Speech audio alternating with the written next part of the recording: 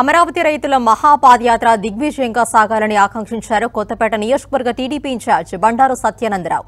CM జగన్కు మంచి బుద్ధి ప్రసాదించాలని కోనసీమ తిరుపతి వాడపల్లి వెంకటేశ్వర స్వామికి పూజలు నిర్వహించారు. అనంతరం రాజమండ్రి రూరల్ పరిధిలోని రాజవోలు గ్రామంలో మహాపాదయాత్రగా వచ్చిన రైతులకు ప్రసాదాలు పంపిణీ చేశారు.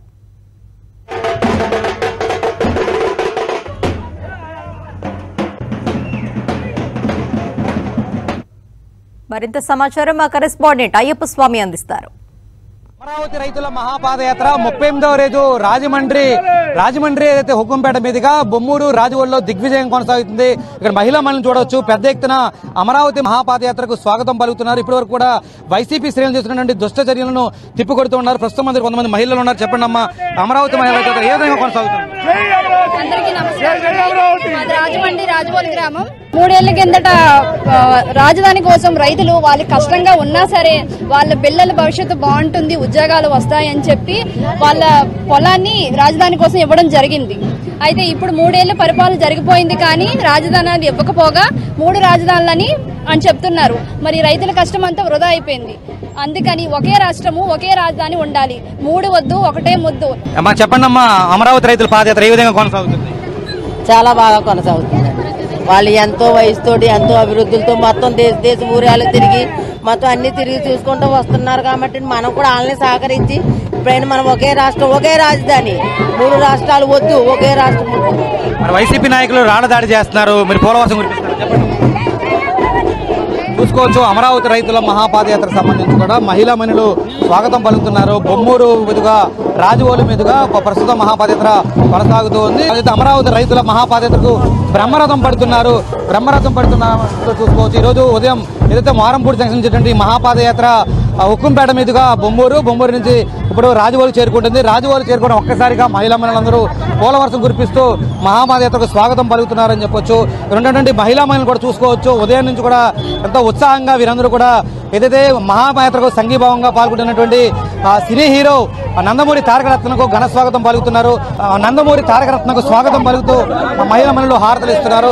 ఎట్టి పరిస్థితుల్లోనూ అమరావతి రాజధానిగా కొనసాగించాలని చూసుకోవచ్చు. దీనికి సంబంధించి కూడా మహిళలందరూ కూడా వారు నందమూరి తారకరత్నకు హారతలు ఇచ్చి ఘన స్వాగతం పలుకుతున్నారు. దీనికి సంబంధించి ఏకైక రాజధానిగా అమరావతిని కొనసాగించాలని మహిళా మహిళలు రద్దు చేస్తున్న రాష్ట్రం నలుమూలన తరలి వస్తున్నారు. కొత్తపేట నియోజకవర్గం నుంచి కూడా పెద్ద ఎత్తున ఆ తెలుగుదేశం పార్టీతో పాటు ఇతర శ్రేణులు కూడా తరలి రావడం కూడా జరిగింది. ప్రస్తుతం మన దగ్గర మాజీ ఎమ్మెల్యే బండారు సత్యానందరావు గారు ఉన్నారు. ఆయన మాటలో తెలుసుకుందాం. చెప్పండి సార్ అమరావతి రైతుల మహాపాదయాత్ర ఏ విధంగా కొనసాగుతుంది? వైసీపీ ద్వారా ఏ విధంగా ఉంది? ఈ రోజున కొత్తపేట నియోజకవర్గం నుంచి శ్రీ వాడపల్లి వెంకటేశ్వర స్వామి సన్నిధిలో ఉదయం పూజలు చేసుకుని ఈ ముఖ్యమంత్రికి మంచి బుద్ధి ప్రసాదించాలి. ఏకైక రాజధానిగా అమరావతి ఉండాలని కోరుతూ స్వామివారి ప్రసాదం చక్ర పొంగలి అదేవిధంగా పులిహార చేసుకుని ఒక పన్నెండు వందల మంది ఇక్కడ తీసుకొచ్చి వారికి ప్రసాదం అందివ్వడం జరుగుతూ ఉంది. ప్రజలందరూ ముక్తకంఠంతో ఏకైక రాజధానిగా అమరావతి ఉండాలంటున్నారు. రాజ్యాంగం ప్రకారం కూడా చట్టసభలో ఆయన ఆయన సమక్షంలోనే అసెంబ్లీలో ఒప్పుకోవడం జరిగింది. తర్వాత కోర్టులు కూడా రాజధాని అమరావతి ఉండాలని స్పష్టంగా చెప్పడం జరిగింది.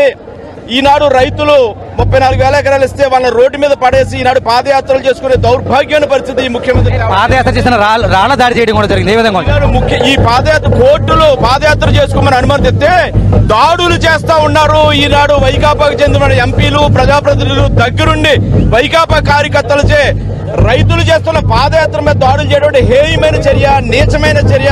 తప్పకుండా కూడా ఎట్టి పరిస్థితుల్లోనూ కూడా ఈ గోదావరి జిల్లాలో ఉడత ఊపులు ఆ యాభై అరవై మందితో వచ్చిన ఆ యాభై అరవై మందిని పెట్టుకుని ఆ పెట్రోల్ బాంబులు అయ్యి ఊపినా గానీ ఏ విధంగా కూడా ప్రజలు జడవలేదు ఎవరు కూడా జడవం అవసరం అయితే కూడా ఇంకా భారీ ఎత్తున తరలి వచ్చి ఈ రాబో రోజుల్లో అనపర్తి రామచంద్రపురం నియోజకవర్గాల్లో కూడా జరిగే పాదయాత్రలో కూడా పాల్గొంటామని కూడా ఏదైతే రాజవోలులకు సంబంధించి పాదయాత్ర ఘనస్వాగతం పలుకుతూ ఏదైతే రాజమండ్రి రూరల్ నియోజకవర్గం రాజవోలు గ్రామంలో మహాపాదయాత్ర స్వాగతం పలుకుతూ కొత్తపేట నియోజకవర్గం నుంచి కూడా మా- మాజీ ఎమ్మెల్యే బండారు సత్యనారాయణలో కోనసీమ తిరుపతి వాడపల్లి శ్రీ వెంకటేశ్వర స్వామి ఆలయంలో పూజలు చేసి వైఎస్ఆర్ జగన్మోహన్ రెడ్డికి బుద్ధి కల్పించాలని చేయడం కూడా జరిగింది. అదేవిధంగా ప్రసాదాన్ని కూడా పంపిణీ చేస్తున్నారు. పులిహారతో పాటు చక్కెర పొంగలి ప్రసాదం కూడా పంపిణీ చేస్తూ సుమారుగా రెండు వేల మందికి ఈ ప్రసాదాన్ని పంపిణీ చేస్తూ ఇప్పటికైనా వైసీపీ ప్రభుత్వానికి ఆ దేవుడి దయతో జ్ఞానోదయం కలగాలని కోరుతున్నారు. OT studio.